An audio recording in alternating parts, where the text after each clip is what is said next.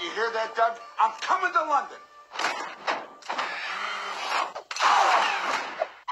Heavy. Shut up and sit down, you big bald fuck.